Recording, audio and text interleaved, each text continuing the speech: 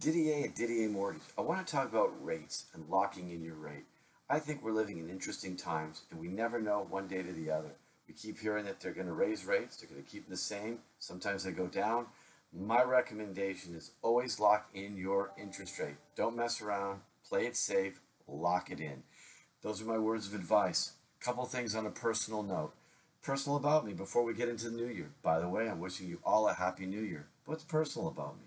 One, I've been a runner for 46 years. I had children when I was age 41 and 43. And my wife says I've had a midlife crisis owning a Jeep. I forget to mention to her that I've been driving Jeep since I was 25 years old. Other than that, I'm wishing everyone a happy new year, a great year. I think rates are going to fluctuate all over the place. You're in a finite period of time when you're buying a home, meaning that you're going to close in 30, 45 days. Lock it in, play it safe, don't mess around. Happy New Year, everyone.